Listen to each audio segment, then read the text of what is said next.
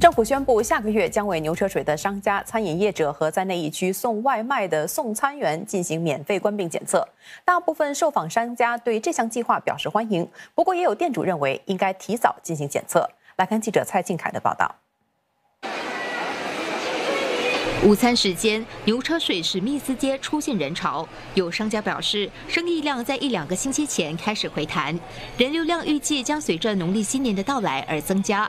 因此，政府计划在下个月八号和九号为这些商家和工作人员进行聚合酶链反应检测。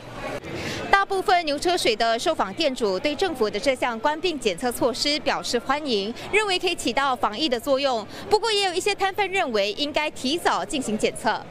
这样哦，也会帮到我们的生意，因为我们生意就是要人养来嘛，人怕的时候就不敢来，所以有这个说法，我觉得是一个很好的 initiative 了。我觉得应该政府提早先做好这个设备咯，因为现在都已经很多人了。其实没有什么很大的意见，要有开始好过没开始嘛，对不对？那去年开始不是更好，是不是这样说？因为我我本身有一点敏感，那个我一东西一塞进去，我就就啊气啊气，不可以呼吸了。所以你会想要去检测吗？如果政府需要，我们当然一定要去配合啦。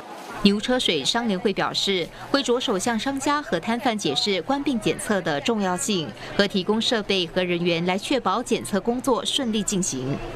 那下个礼拜呢，我们会跟卫生部介绍说要应该怎么实行，啊，什么时间要怎么安排。那我们会很细心的跟政府一起配合，可以完成这个检测。新传媒新闻记者蔡庆凯报道。